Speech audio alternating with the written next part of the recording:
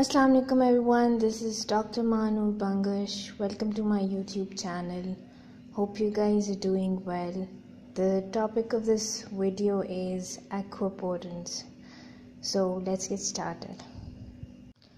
Okay, pores are the integral cell membrane proteins or channel proteins that form an open tube in the cell membrane and permit selective movement of particles across the cell membrane.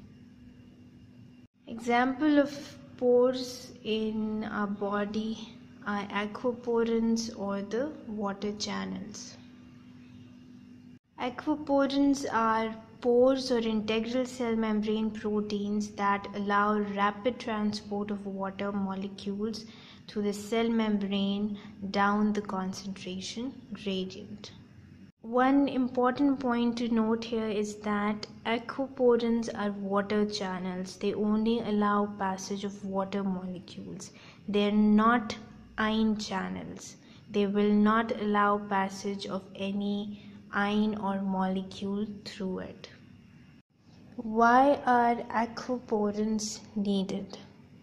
Okay, we know that water molecules can pass through small spaces that are present between the phospholipids of the lipid bilayer which are called interstices these small spaces.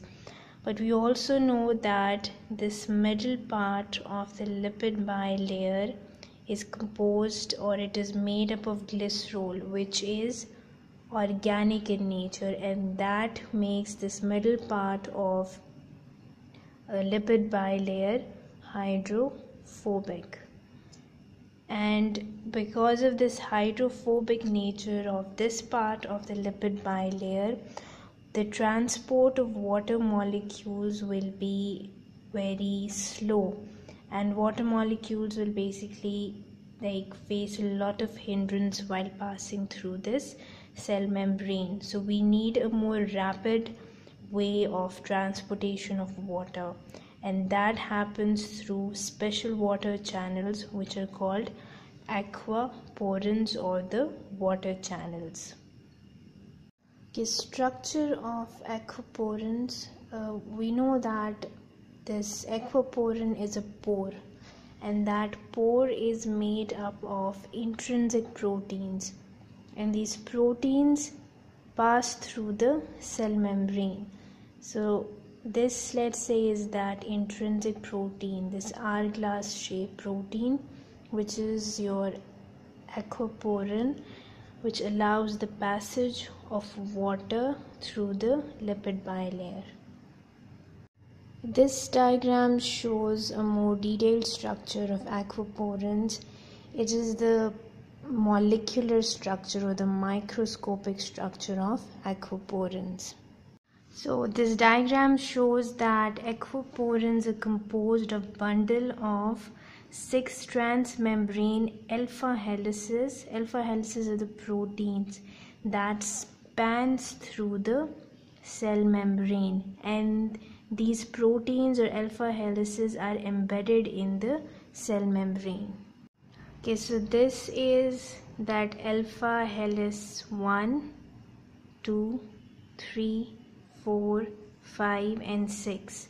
So these are the six transmembrane alpha helices that spans through the cell membrane which means that it is passing through the cell membrane.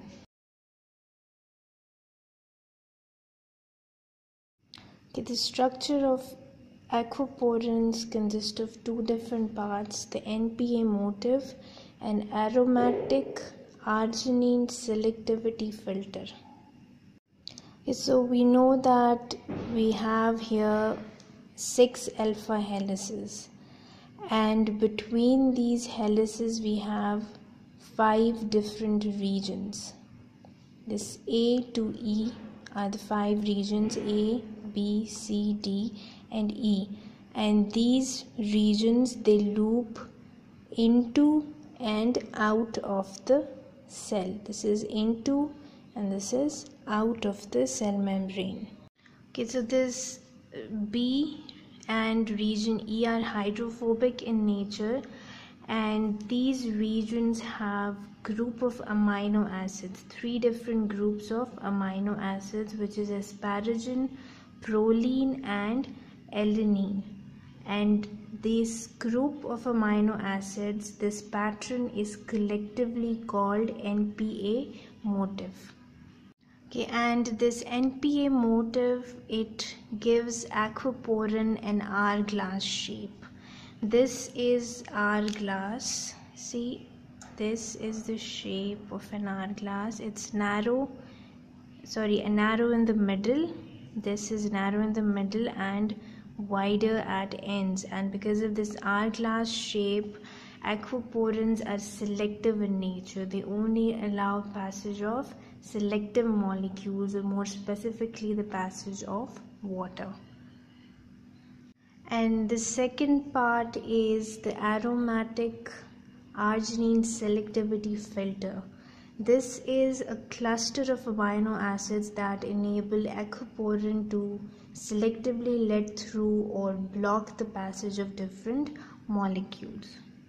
And these cluster of amino acids they help to bind water molecules and exclude other molecules that may be trying to enter through or pass through the pore.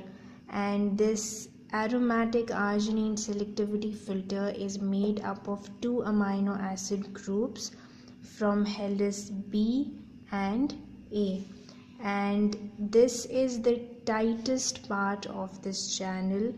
And its narrowness that because it is the tightest and the most narrow part so this tightness weakens the hydrogen bonds between water molecules and they enable arginine which carry this arginine which carry a negative charge to interact with the water molecules and filter out the undesirable protons. Okay, properties of aquaporins, uh, the passage or transportation of water through these pores is through passive diffusion which means that no energy or ATP is utilized in the transportation of water through the across the cell membrane. Aquaporins they increases permeability of membrane to water which allows uh, these aquaporins they allow rapid transportation of water or passage of water through the cell membrane and water is transported in a single file plus these aquaporins are highly selective this last property of high selectivity is very important property of aquaporins and it will be discussed in detail later in this video okay, so how is water transported across the cell membrane through aquaporins. Now we know that aquaporins are made up of uh, transmembrane proteins, the integral pro the intrinsic proteins that spans or passes through the cell membrane. So the inner region of aquaporin consists of a narrow cavity and this cavity is lined by hydrophilic amino acids and these amino acids give this center of this cavity a positive charge which means that the center or this cavity of the aquaporins is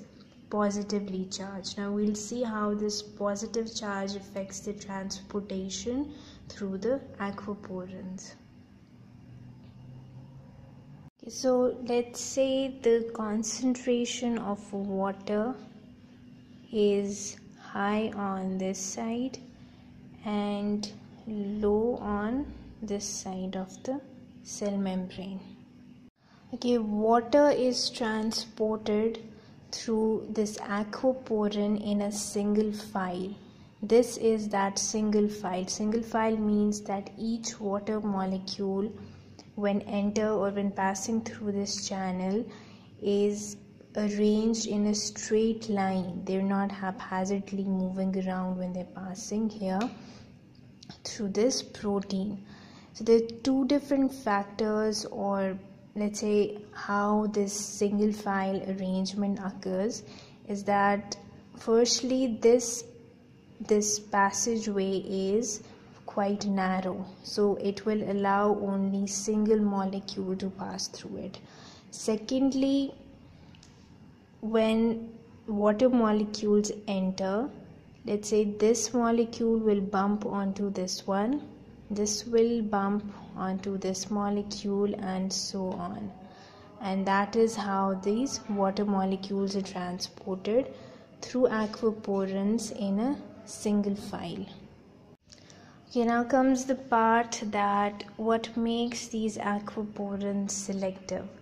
We know that aquaporins are composed of different amino acids that is lining the inner structure of the uh, these integral proteins. And one such amino acid is arginine.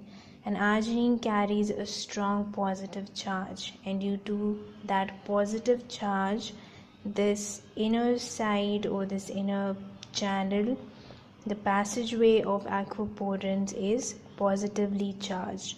And this charge basically filter out the unwanted molecules that are passing through the aquaporins or more specifically the proton ions they're very important. It's a very important point that aquaporins does not allow protons to pass through the uh, across the cell membrane and it will only allow the passage of water and this selectivity of aquaporins or this property of not allowing protons to pass through aquaporins is very important because it maintains the proton gradient across the cell membrane and that maintenance of proton gradient is important for the production of ATP.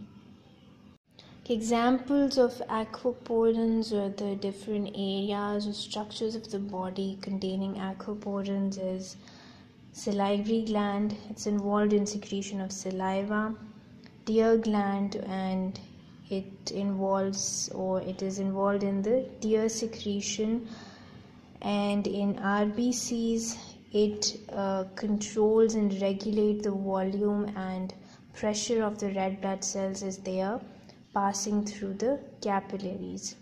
And fourth and most important is kidney. Aquaporins are found in the epithelial cells of the human kidney in the distal and collecting tubules. They increase the uptake of water from tubules into the body cells, so basically increasing the reabsorption of water into the body from the filtrate of kidney, which is the urine. Clinical significance of aquaporins number one is Devic's disease, which is also called neuromyelitis optica. Okay, uh, disease, uh, it's an autoimmune disease in which there is a there's an autoimmune reaction against the aquaporin 4 and this autoimmune reaction against these aquaporins will affect spinal cord and the optic nerves which are the nerves of eyes. Second is the nephrogenic diabetes insipidus which is in which there is mutation of aquaporin 2 gene.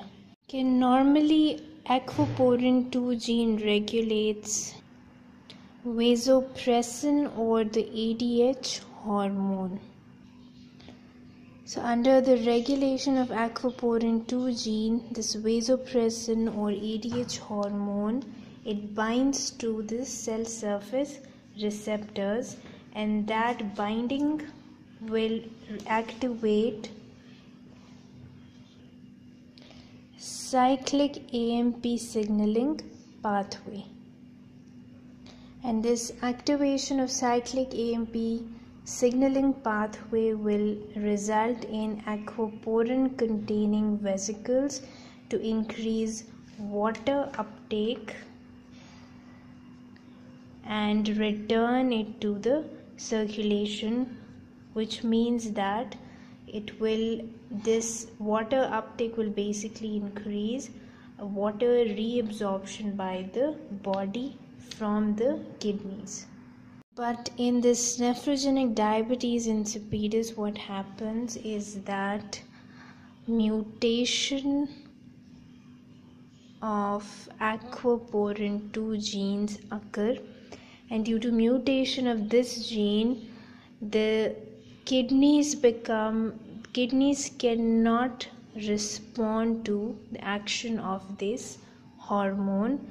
As a result your kidneys cannot concentrate the urine and as a result of that large amount of diluted urine will be excreted out. And this condition of excretion of a large amount of diluted urine uh, is called nephrogenic diabetes insipidus in which your body becomes dehydrated because there's large amount of water loss in the urine Third is severe or total aquaporin 1 deficiency. In this condition, these people are generally they're healthy, but their kidneys cannot concentrate solute in the urine or conserve water in the body. As a result, large amount of urine, diluted urine that contains large amount of water will be excreted out, leaving body dehydrated. So this was all about aquaporins. Please don't forget to like and share this video and subscribe my youtube channel. Thank you. Hafiz and take care